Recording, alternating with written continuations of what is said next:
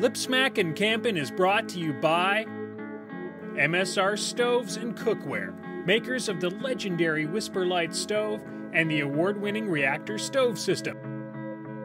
MSR has been fueling outdoor adventure for over 40 years.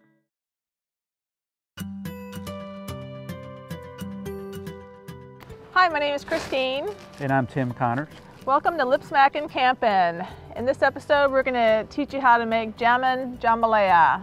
We're going to begin with the andouille sausage, nice spicy sausage, and we're going to cut it into very small pieces. When you're going to dry anything, you really don't want big pieces at all because that means you're going to end up with things that aren't fully dry, and that's not a good thing. The recipe calls for about three ounces. This is a little more than that. It really, as far as when it gets dry, it doesn't really matter that much. You may end up adding a little more water when you get on the trail, but it shouldn't affect the recipe at all. And I'm gonna put it into the Flex 4 pot. This is the smaller of the two pots that comes with the set. Then I'm gonna add the chicken with the juice and a can of little baby shrimp. We're gonna cut one bell pepper. Okay, again, this is a step that would be done at home. I haven't mentioned that already. The remainder of our poor onion. You don't need to help. Let, let me do everything. Okay. Just one, one stalk of celery. That's one, all. And again, I'm chopping finely because I want it to dry quickly and rehydrate quickly. One tablespoon of Worcestershire.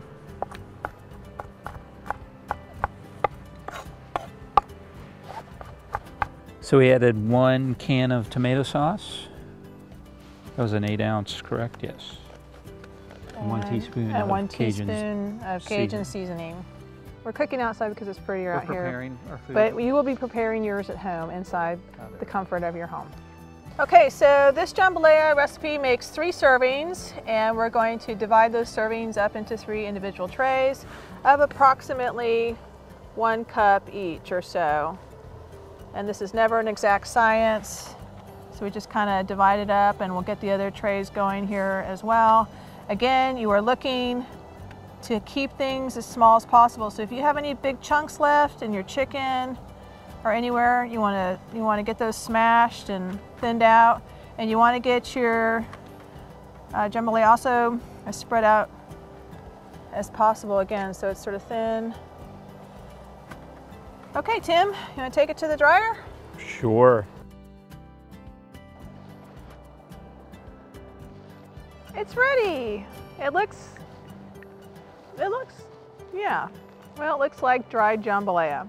Okay, so this is one serving of jambalaya and we're going to basically take it apart and carefully put it into our quart freezer bag. And again, breaking it up as much as possible will help with it rehydrating. And this is really nice and crumbly, so that tells me it's gonna rehydrate very nicely. And I'm gonna pour it into my bag, which I can label before or I can label after, but it's important to label. And to this recipe, we're also gonna add one half cup of rice, dried rice, instant rice. Okay, and we're gonna seal it, get the air out. And again, we wanna label it. Jambalaya. And we also want to remind ourselves how much water it's going to take on the trail, and that is two cups per serving. And so you will have three of those, and this is representing now one of the three servings that you're going to bring on the trail.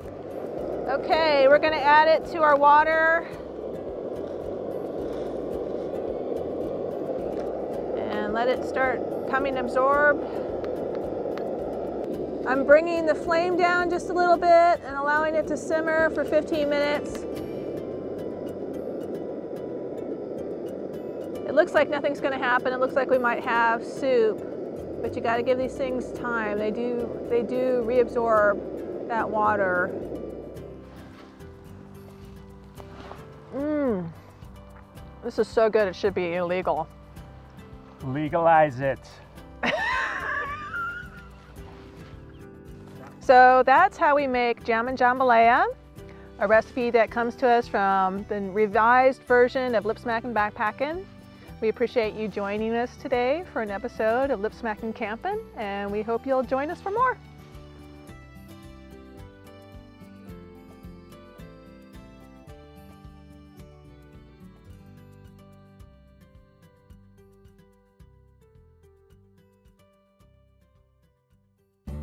For hundreds of mouthwatering camp recipes and invaluable information for making your next camp trip memorable for all the right reasons, check out Tim and Christine Connor's best-selling series of books. For more information or to purchase books, visit lipsmackincampin.com.